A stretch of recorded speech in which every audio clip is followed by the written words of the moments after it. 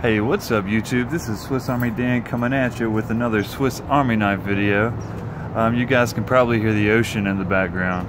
Um, no, actually I'm kidding. That's a freeway because my new place is right by uh, a freeway. So hopefully it's not too loud. We'll see. Anyway, today guys, I wanted to talk about some differences between Wenger and Victorinox Swiss Army knives. Um, I've uh, kind of touched on this in the past, but today I kind of wanted to look at maybe like some common problems that you'll find in some of these knives and maybe a comparison of the uh, the two knives, the quality and whatnot. Um, I'll start right here. You know, I just bought this uh, these white scales uh, for this Victorinox. I was like really happy and proud of it. Then I dropped it once and I have uh, hard floors in in my house, so yeah, just one drop and bam, the uh, the scale broke off. It cracked, but I just kind of did that, and then it, you know the piece just fell off. Um, so I think that's an issue. I do wish Victorinox would look at maybe making their uh, Cellidor a little bit uh, more durable. I think that would be cool. I mean, it looks great. It seems like the older scales, you know, they were solid and maybe a little tougher. Maybe the quality has gone down slightly over the years, especially just, you know, having, uh, you know, they used to be thick all the way through and now they, they have these pockets, you know, um, it's open under there. So that's one issue. As far as the knife, I mean, you drop it a lot and usually you're going to be fine. Um, if you have like the blade open, you know, and then drive it right and it hits that that point on the blade just right on a hard surface, it will break off. But they're pretty pretty durable knives overall. One issue I do see a lot with the Victorinox is the uh, the spring breaking, especially on older ones. But you know, it's just a thin little mechanism there. I think they're expected to break, and it's really not too hard to replace those. Um, here is pretty much a, a, brand new Wenger Highlander and it's great. I really love this knife you know it's cool. It has pretty good snap. One thing I do find with Wengers is when it snaps into place right here it's pretty easy to move that blade. It's not stuck there really good. With Victorinox you have to push a little bit more before you feel that thing releasing from its resting place. But the finger it's a little bit less tight.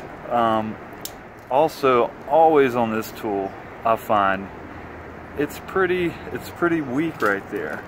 I don't find that with Victorinox, and I don't mean to bash Wenger too much, but I just feel like it's a, a little bit stronger knife. Like you have to push on that Victorinox. The Wenger is like a little bit more loosey-goosey right now right there. And even on the Delémonts, I've found that. Um, here's a newer Delémont, I think Evo 10 or something, but it's the same way. This right here is pretty weak.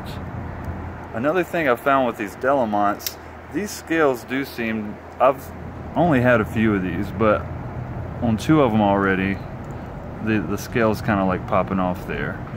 I know that happens on a lot of knives, maybe, but maybe these are a little bit more prone to that. Um, I don't see that with the Wengers in general, like the old old style scales. Um, but still that same issue right here. I mean, you can see how loose that is. Like I barely tap on it and it's moving quite a bit. So for me, I think that's an issue. Um, yeah, and it's consistent with pretty much every Wenger I have. I have run into a lot of Wengers, not by lots, but it just seems like the back springs, I find more broken back springs on Wengers than I do Victorinox. I have seen some broken back springs on Victorinox too, but I don't know. It seems like I have run into a lot of it's easier to abuse these I think um, there's a little bit thinner metal maybe that's the only reason, you know, which you're, you're using a smaller spring, it's going to be weaker. Um, I guess some continued Wenger complaints here. I'm going to keep talking about that weak back spring, even on like the smaller knives. So here's a 58 millimeter Victorinox and a 65 millimeter Wenger. The Victorinox is not like it's hard to close, but this Wenger is even little bit weaker than this one. Um, I love I love Wengers. I think that's cool, but it just feels like that blade is doesn't snap into place very well. One thing I do see with a lot of Victorinox um, 58 millimeters is the scale popping off.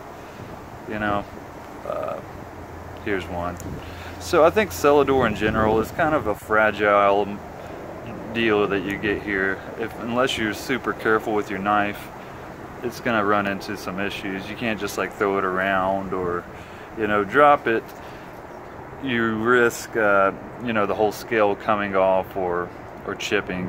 Um, so I try to be easy on my knives, of course, but you know, I think that's why people like Alox so much is because you can drop it and kind of use it and abuse it a little bit more and the knife is still going to be intact. Nothing's going to break off of it. Um, I think the quality of these 93 millimeters are really close. They both have really good back springs on these soldiers.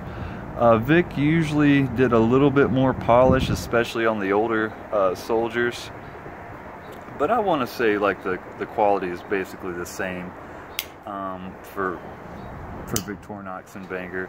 Maybe like, you know, Victorinox is slightly, slightly better, like a percent better or something. Here's some newer soldiers.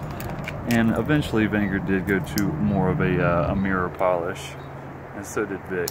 You'll find old Vics that don't have much mirror polish on them too.